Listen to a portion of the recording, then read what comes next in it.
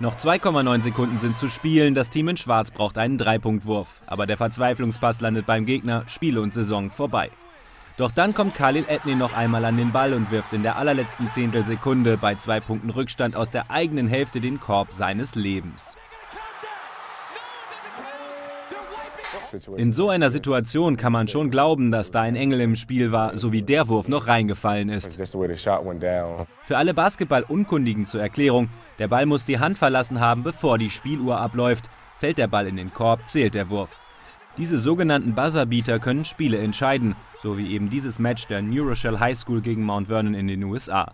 Selten gelingt ein solcher Wurf, aus der eigenen Hälfte so gut wie nie. Das Video verbreitet sich gerade viral im Netz und für New Rochelle geht die Saison weiter.